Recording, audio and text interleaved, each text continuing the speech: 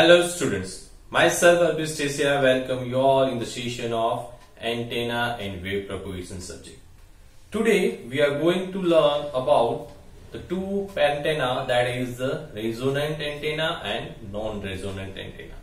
So let's see the content that we have to study in this topic in this session that is first antenna that is the resonant antenna and their advantages, applications and disadvantages and second thing that is the non-resonant antenna and also their advantages, disadvantages and application and at last we see the difference between the resonant and non-resonant antenna. So we compare both the antenna. So let's see the first antenna that is resonant antenna. The resonant antenna are like resonant transmission line. The dipole antenna are example of this antenna type. They are open-ended at far end with resonant length. The term resonant length refers to multiple of quarter wavelength. The resonant antenna are those for which a sharp peak of the radiated power is interpreted by the antenna at certain frequency to form a standing wave. The radiation pattern of the radiated wave is not matched with the load impedance in this type of antenna. The resonant antenna are periodic in nature. They are also called as bidirectional traveling wave antenna as the radiated wave moves in two directions which means both incident and reflected waves occur here. In this antenna, the length of the antenna and frequency are proportional to each other. So let's summarize the first that is antenna having a length of multiple of lambda by 2 open at both the end are said to be resonant antenna. The length of the resonant antenna is exact multiple of lambda by 2. These antenna are open at both the end. These are not terminated by any resistance. They are used as fixed frequency. In this antenna, forward and backward waves exist. That means standing wave exists in this antenna. The half wave antenna has distributed inductance and capacitance and it acts like a resonant antenna or a resonant circuit the voltage and current on it are not in phase.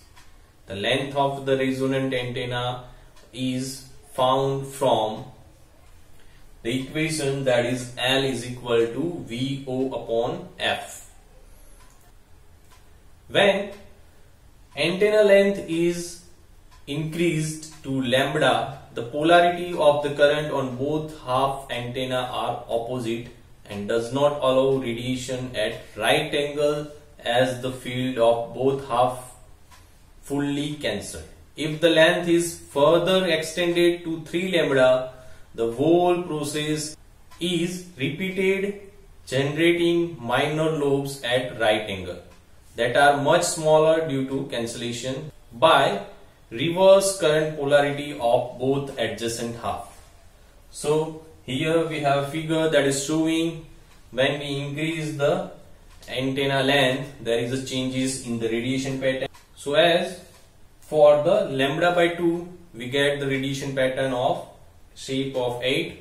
When we further increase the length at lambda we get this main lobe is divided or split into the two so we get four main lobes when we further increase the length of the antenna from lambda to 3 lambda by 2, again it will be splitted or side lobes occur at the center. Now further we increase the length of this antenna to 2 lambda that is 4 lambda by 2.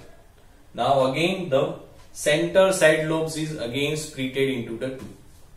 So this is the when increase the length of the antenna we get the variation in the radiation pattern of the antenna. So this is all about the resonant antenna. Now let's see the second that is the non-resonant antenna. The non-resonant antenna are like non-resonant transmission line. Non-resonant transmission line do not have standing wave, hence they do not have any reflected waves and they have only forward traveling wave.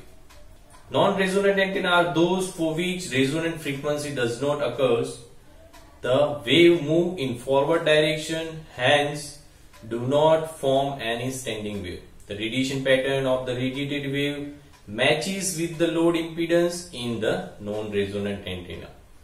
These antenna are non-periodic in nature. They are also called as unidirectional traveling. They are also called as unidirectional traveling wave antenna as radiated wave moves only in forward direction which means that only incident wave is present.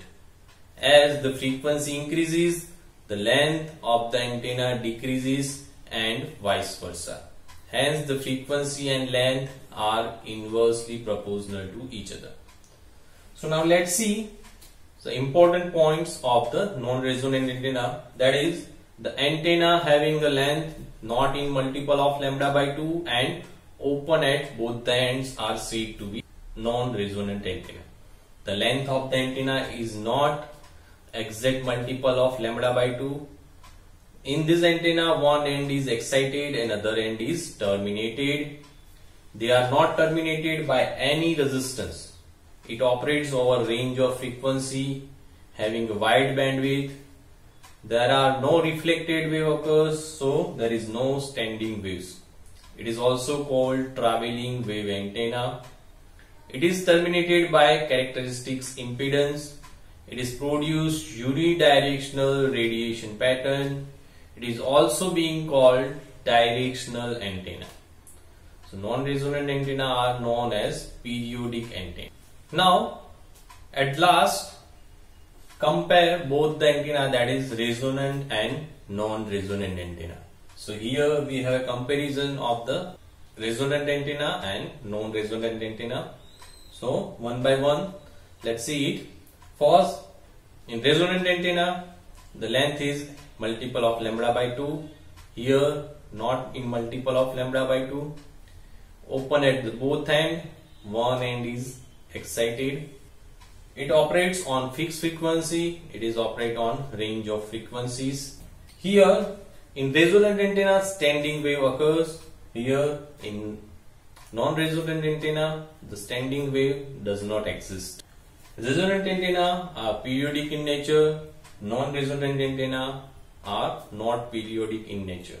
In resonant antenna, incident and reflected waves are present. Here in non-resonant antenna, only incident wave is present. Resonant antenna length is proportional to frequency and non-resonant antenna length is inversely proportional to the frequency. The directivity of the resonant antenna is bidirectional and non-resonant antenna directivity is unidirectional. The efficiency which matters most, so resonant antenna efficiency is high and non-resonant antenna efficiency is low. The resonant antenna not matches with the load impedance and non-resonant antenna is matches well with the load impedance. So here the comparison of the resonant and non-resonant antenna. At last we have some assignment for you. So note down the question.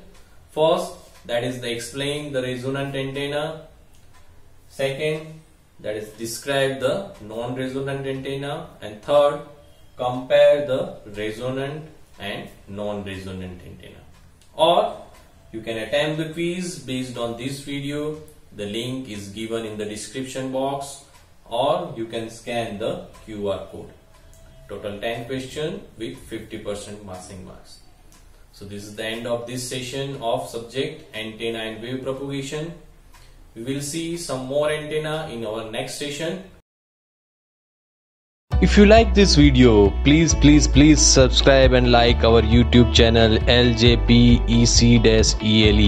and don't forget to click on the bell icon to get latest video update fast.